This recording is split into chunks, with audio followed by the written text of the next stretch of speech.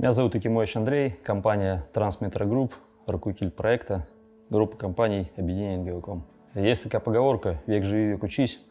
Ну, а если серьезно, то в настоящее время наблюдается дефицит кадров, именно квалифицированных кадров в строительной области. И одно из решений данного вопроса – это обучение сотрудников навыкам чтения чертежей, чтения арматурных чертежей, опалубочных. Для этого мы обратились к компании Frontliner. Потому что мы, как организация, заинтересованы в том, чтобы наш персонал мог, рабочий персонал, именно линейный персонал, разбираться сам в чертежах, чтобы ему мы не показывали, берешь вот этот прут арматуры, кладешь условно вот сюда, утрированно, чтобы не раздували для этих целей инженерных технических работников, чтобы люди занимались сами, могли разбираться с чертежом, делать заготовки арматурные и сами непосредственно вязать каркас и сдавать его заказчику.